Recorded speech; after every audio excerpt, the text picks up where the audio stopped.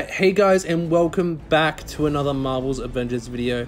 And today is the day, guys. It's the day we've all been waiting for. Kate Bishop drops in just under 12 hours away of me actually putting this video out.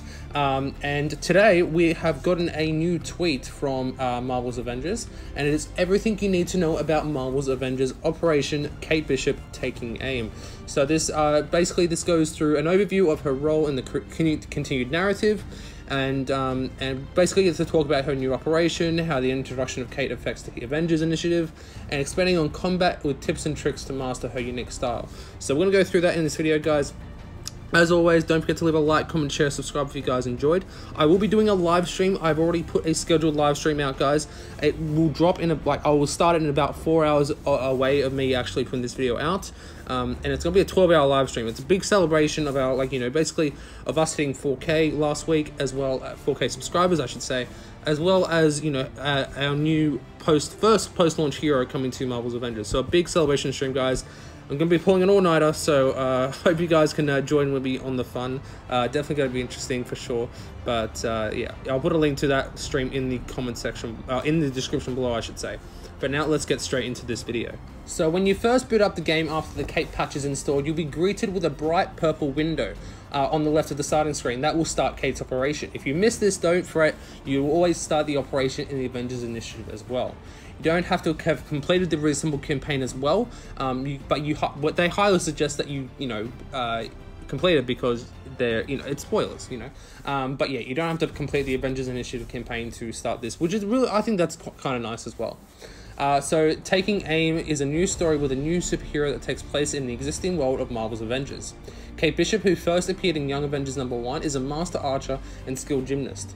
Missing, uh, missing since A-Day, she resurfaces after investigation into Nick Fury's disappearance, results in her mentor, Clint Barton, aka Hawkeye, going missing as well. As she unravels the mystery behind the mystery behind the sudden appearance of time-warping tachyon drifts, she uncovers a twisted new plan from AIM, which pushes her to work with the Avengers once again. The first mission takes place in Shield Substation Zero by taking, uh, sorry, by talking to Maria Hill. You won't start off playing as Kate since there is some narrative to unravel first, but rest assured, you'll surely recruit her into the into the operation. Every single mission in Operation Taking Aim can be played multiplayer with any character of your roster. If you choose to play through a mission as one of the core six heroes, Kate will join you as an AI companion. As we've talked about before, Operation Taking Aim just is the first part of the Hawkeye double feature that will conclude with Clint Barton's Operation Hawkeye Future Imperfect early next year. We're super grateful for the excitement surrounding the Future Imperfect sneak peek and have been watching your reaction videos and can't wait to share more details with you. But back to Kate. Kate is a trained and dedicated warrior. Uh, basically, just goes through everything you know what what what she is like as a character and what you can expect for her uh, in the game itself. Um, but then we can look at some Kate, uh, some of Kate's unique combat skills. So Kate's kit, we have Tranquilizer Arrow, quickly swift uh, to the bow and fire an arrow that applies the uh, snared debuff.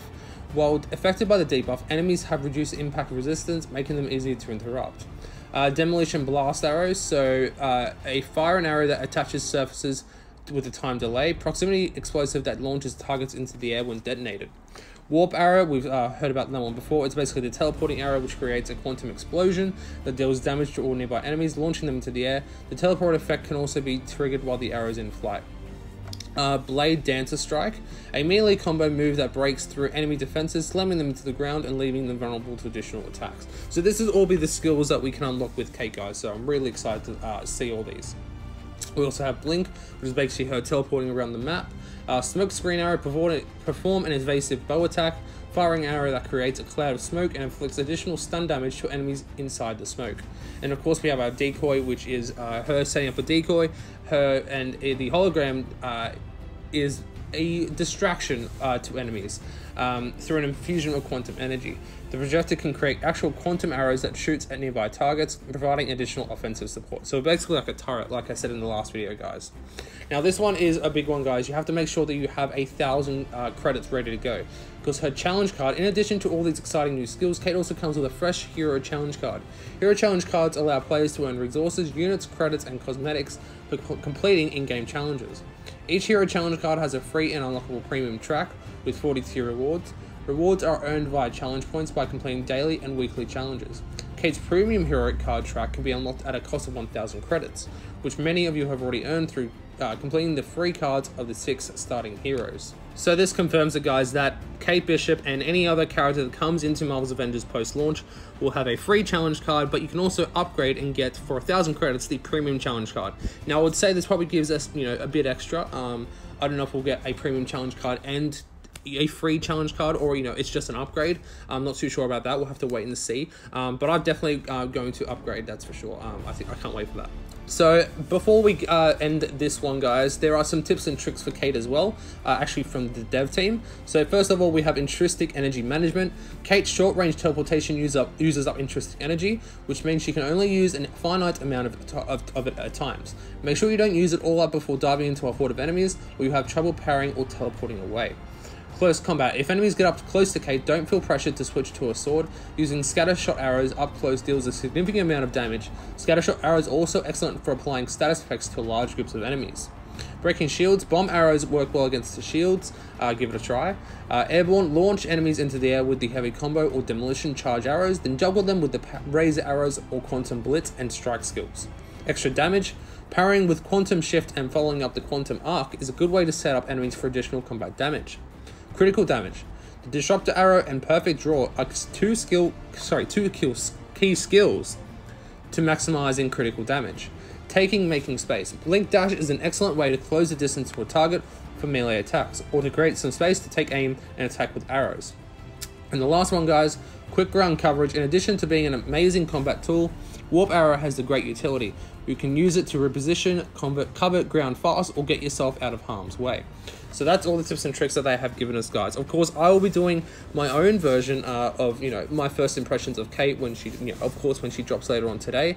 Um, that video will be coming out in the next couple of days, and maybe I might do some tips and tricks as well. If you guys would like to see that, let me know in the comment section below.